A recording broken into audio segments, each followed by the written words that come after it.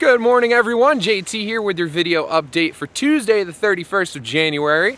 And it was cold enough last night that we finally got a chance to make some more snow. We had the guns going on Upper Smith Walton overnight and actually in the early morning hours we got about a quarter of an inch of fresh snow that Mother Nature was so kind to give us. Wish she'd give us a little bit more, but hey, we'll take what we can get.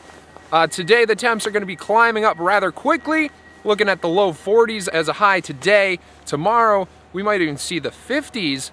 It's very unseasonably warm, but you know what? We've got plenty of snow here, top to bottom coverage, 18 trails open today, five lifts running, three of those are high-speed quads. I have to let you know though, the park will be closed this morning. Most likely it will open this afternoon or this evening. If not, it will be open tomorrow.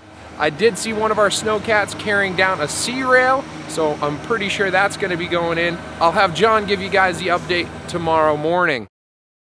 So hey, great snow, good conditions, beautiful weather.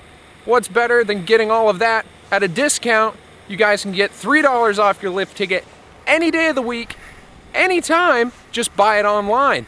And another thing is we have online ticket specials. Like today's Wednesday, we have Dynastar on Wednesdays.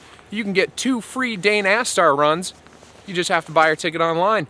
Uh, there's more specials too. Just be sure to check out the website and you can keep up to date with that. And of course, stay up to date with the videos. And I'll see you guys on the slopes.